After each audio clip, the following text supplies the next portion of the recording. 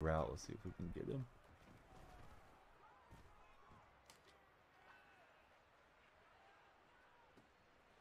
Oh, Davis!